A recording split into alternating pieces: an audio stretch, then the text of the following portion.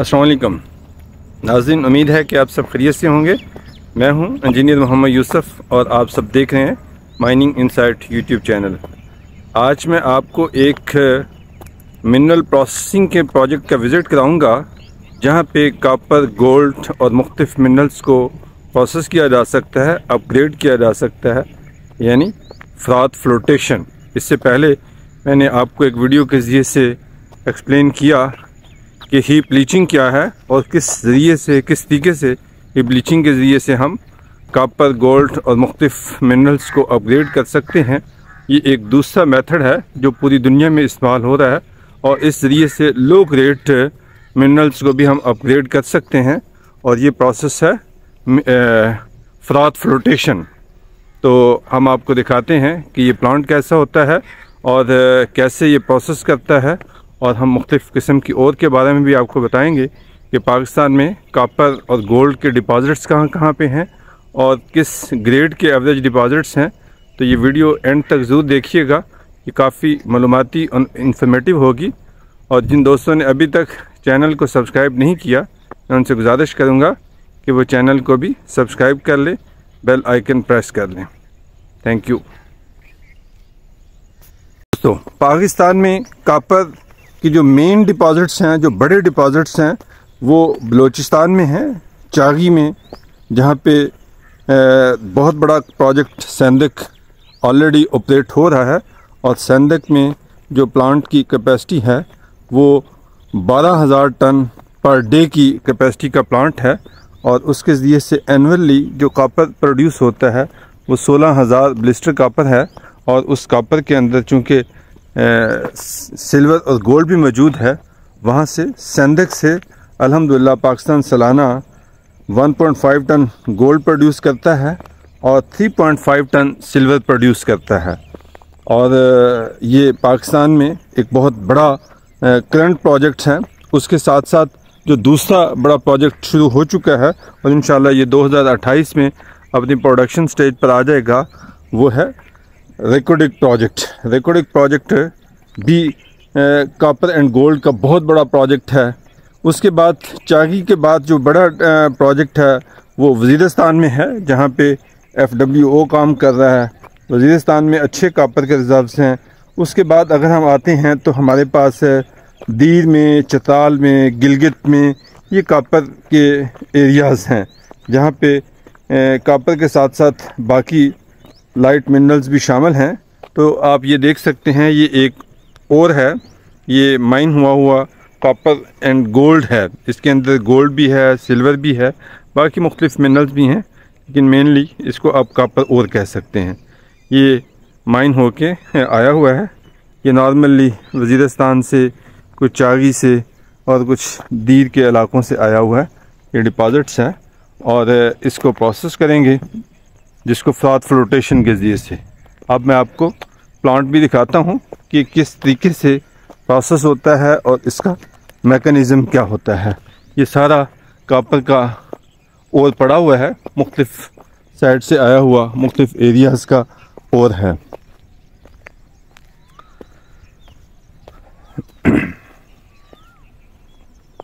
पाकिस्तान में अल्हम्दुलिल्लाह बहुत अच्छे और रिच कापर के डिपॉज़िट्स हैं।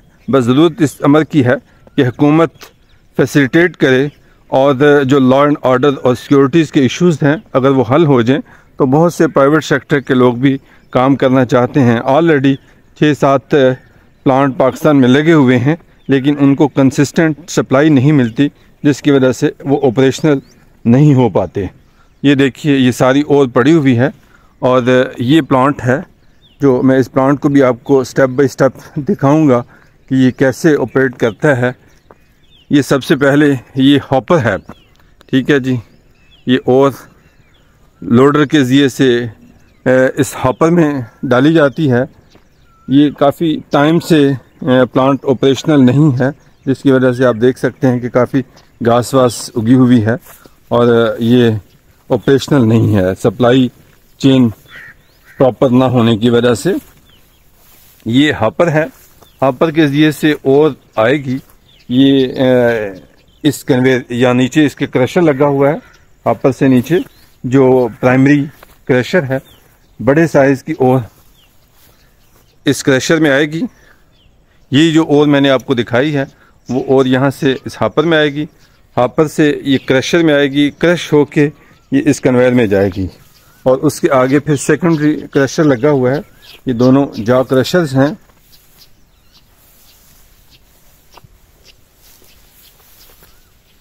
ये देखिए, ये इसके बाद सेकेंडरी जॉ क्रशर है। जो बड़े साइज़ की और होगी, वो उसको मज़ीद छोटा करेगा।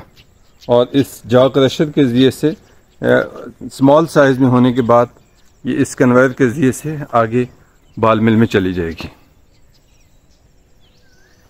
ये नाजिन देखिएगा कि वो जो बड़े साइज़ के लम्स थे, जो इससे पहले आपने देखे हैं, वो प्राइमरी और सेकेंडरी क्रशर से गुजरने के बाद इस साइज़ के ये बन जाएँगे। ये इसका साइज़ हो गया। ये कापर और है। ठीक है जी। ये स्टोरेज बिन है। यहाँ स्टोर होगा और यहाँ से फिर आगे ये जाएगा बॉल मिल में। ये फर्दर दो कन्वेयर लगी हुई हैं और इन कन्वेयर के ज़रिए से आगे बॉल मिल में ये चला जाएगा। ये मैं अभी आपको दिखाता हूँ। ये बहुत अच्छा प्लांट लगा हुआ है। ये 500 टन पर डे का प्लांट है।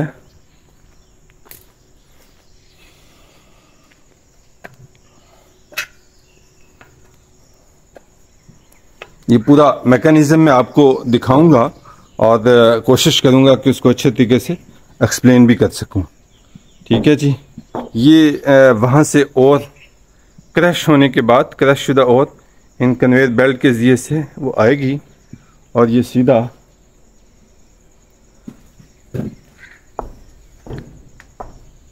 ये देखिए। ये बॉल मिल में आ जाएगी। ये दो बॉल मिल हैं। ठीक है जी, इस अच्छा प्लांट है। ये ढाई ढाई सौ टन की दो बॉल मिल हैं। ये इस बॉल मिल में आ जाएगी। और ये इसको फाइन ग्राइंड कर देगी। इस तरीके का ये मटेरियल इस बॉल मिल में फ़ीड होगा। ये ऑटो फ़ीड है।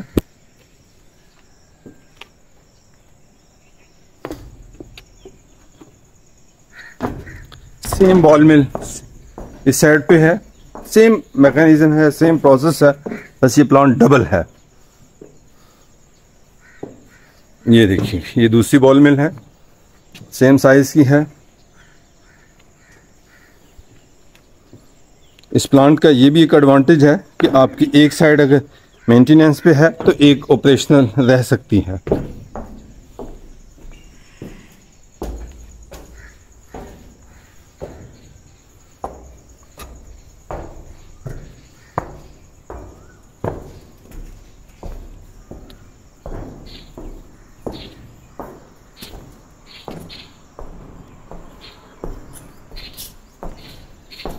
जी। ये देखिएगा, इस एंगल से भी आप देख सकते हैं, ये बॉल मिल है, ये उसका पैनल है इलेक्ट्रिक पैनल है, और यहाँ से बॉल मिल से ये मटेरियल आएगा, यहाँ से आउट होगा। ठीक है जी, ये आउट होने के बाद ये इस साइड पर आ जाएगा, और ये इसको पुश करेगा इस साइड पे फ्लोटेशन सेल की तरफ़।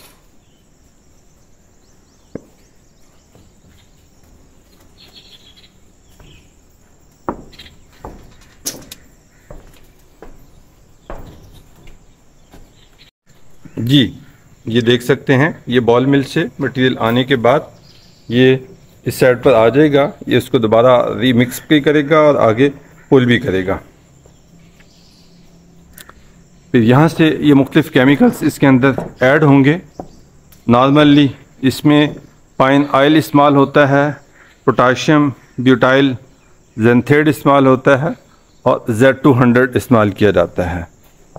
ये देखिएगा, ये सोडियम ये उस केमिकल है।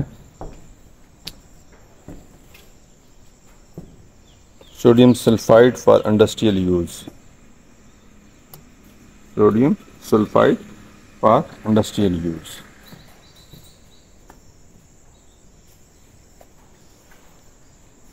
ये केमिकल मिक्स होता है। मैंने बताया कि यहाँ से केमिकल की डोजेज आएगी। इस टैंक में आएगी। इस टैंक से इन पाइप्स के ज़रिए से। फिर ये आगे जो फ्लोटेशन सेल्स हैं, उनमें चली जाएगी। दोनों पैरेलल चल रहे हैं। ये एक इस साइड पे है, एक उस साइड पे है, और फिर ये दरमियान में उसका एक प्रोसेस है।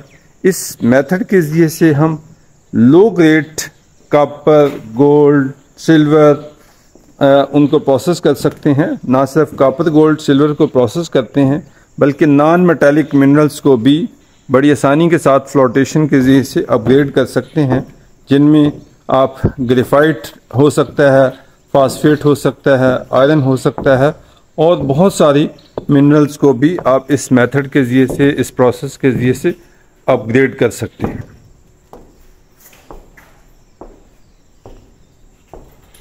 हमारे पास अल्लाह ताला ने बहुत अच्छी मिनरल्स हमें दे रखी हैं, और बहुत से मादनी वसाइल से हमारा मुल्क माला माल है, लेकिन सिर्फ़ ज़रूरत इस अमर की है कि हमारी पॉलिसीज़ जो हैं, वो कंटिन्यूटी हो उनके अंदर और बेहतर तरीके से सिक्योरिटी के हालात हों फैसिलिटीज़ दी जाएँ इंफ्रास्ट्रक्चर नहीं है कंटिन्यूटी नहीं है हमारे यहाँ पॉलिसीज़ की।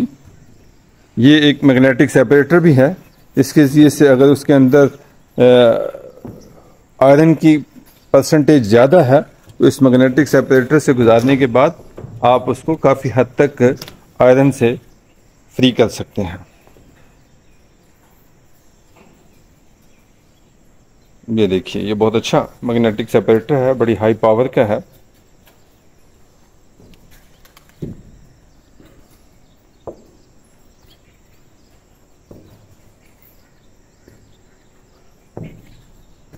ये प्लांट इस वक्त ऑपरेशनल नहीं है। अगर ऑपरेशनल होता तो उसको देख के आपको और ज़्यादा प्रोसेस की समझ आ सकती थी। लेकिन मैकेनिज़्म मैंने आपको बता दिया प्रोसेस आपको बता दिया कि जब ये कभी जिस वक्त ऑपरेशनल होगा तो उस वक्त भी मैं इन कोशिश करूँगा ये आपको विज़िट करा के दिखा सकूँ। इस चैनल का मकसद ये है कि हम माइनिंग के हवाले से अवेयरनेस क्रिएट करें, दोस्तों में शौर पैदा करें कि हम मिनरल्स को कैसे अपग्रेड कर सकते हैं, कैसे प्रोसेस कर सकते हैं, उसकी वैल्यू को कैसे ऐड कर सकते हैं। और मैं ज़रूर अपने सब दोस्तों को कहूँगा कि इस चैनल को ज़रूर प्रमोट करें, दोस्तों को रिकमेंड करें, अपने कमेंट्स का इजहार करें। अगर किसी को माइनिंग के हवाले से कोई इन्फॉर्मेशन चाहिए तो वह ज़रूर अपने कमेंट्स में लिखे कि ये कैसा चैनल है मालूम कैसी हैं, हम इसको कोशिश करेंगे और भी इम्प्रूव करें। ताकि अपने नाजीन को बेहतर से बेहतर हम मालूम फ्राहम कर सकें। यहाँ से मटेरियल प्रोसेस होने के बाद ये कंसनट्रेट इधर आ जाएगा और यहाँ पे वो ड्राई होगा। ये मुख्तलिफ़ उसके स्टोरेज टैंक बने हुए हैं। उन स्टोरेज टैंक में आने के बाद वो ड्राई होता है और फिर ये आगे जो आपको नज़र आ रहा है, पूरे का पूरा शेड जो है जो प्लेटफॉर्म है, यहाँ पे धूप के अंदर सनलाइट में वो ड्राई होता है। और ड्राई होने के बाद फिर उसको पैक कर लिया जाता है। वो आप देख सकते हैं, कुछ जंबो बैग्स में पैक हुआ पड़ा है वो कंसनट्रेट ये प्लांट कुछ ऐसा ऑपरेशनल रहा है और इस पर प्रोसेस होता रहा कंसनट्रेट बनता रहा फिर वो टेलिंग डैम भी है।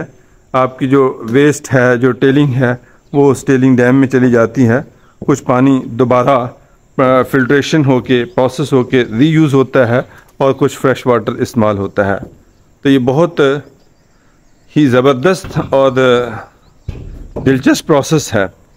अगर वो लोग जो मिनरल प्रोसेसिंग में दिलचस्पी रखते हैं तो उनके लिए ये वीडियो स्पेशली बहुत ही मालूमती होगी।